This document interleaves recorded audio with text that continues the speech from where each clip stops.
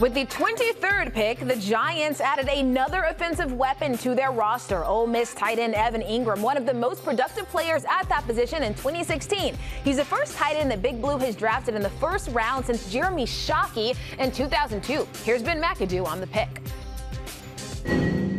All right, uh, excited to uh, add Evan Engram to the mix. Uh, talented player out of Ole Miss, um, length, speed, uh, playmaker special teams contributor.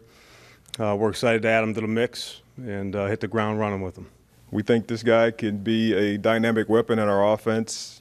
Um, obviously, he has great speed for the position. We think he can be a um, matchup nightmare for for teams trying to cover him with linebackers and safeties. So uh, he was a guy we, we liked a lot. Our coaches liked him a lot. See, uh, seem like they can use him in our offense in a lot of different ways.